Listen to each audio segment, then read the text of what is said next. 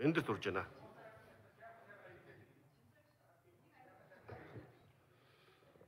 Улсын хурлын дараах эрхэм гишүүдээ Монгол Улсын хурлын гишүүн Ж Монгват, Ёватер Билэг,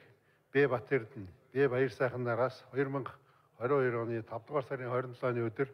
Улсын хурлд өргөн мэдүүлсэн төрийн албан агчийн ёс зүйн тухай хуулийн төсөл болон хамт өргөн мэдүүлсэн хууль Монгол Улсын хурлын тогтоолын төслийг хилцгээс асуудлыг ёс зүй сахилах хариуцлагын байнгын ороо 2022 оны 6 дугаар сарын 8-ны өдрийн хуралдаанаар хилцлээ. Байнгын орооны хуралдаанаар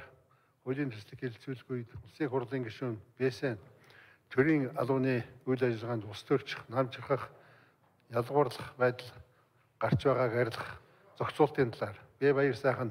төрийн албан хаагчдын дунд удирдах албан тушаалтны зүгээс хууль бус шийдвэр гаргах гэд нөлөөлөх дарамт гардаг байдлыг хянах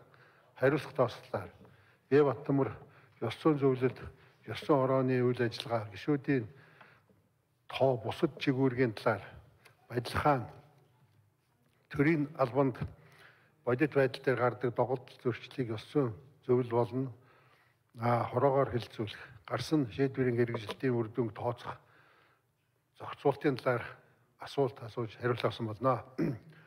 Монгол Улсын хурлын гишүүн бай байсан төрийн албан агчийн ёс зүйн шаардлагыг дээшлүүлэх цаг үеийн чухал шаардлага байгаа талаар би баяр сайхан төрийн албаны ёс зүйн хэмжээг сайжруулах ёс зүйн зөвлөлийн үйл ажиллагааг эрчимжүүлэх, хариуцлагыг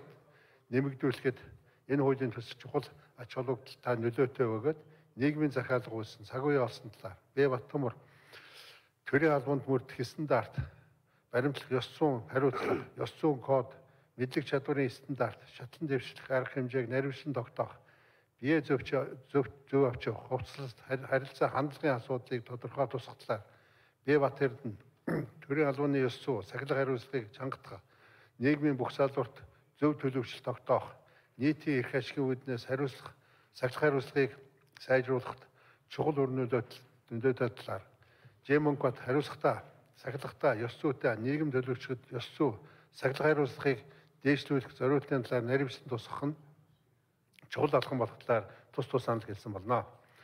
Төрийн албан агчийн ёс зүйн тухай хуулийн төсөл болон хамт өргөн мэдүүлсэн хууль улсын хурлын тогтоолын төслийн үзэл баримтлалын хүрээнд дэмжихийг байнгын орон хурлаанд оролцсон гишүүд 100% саналаар дэмжиж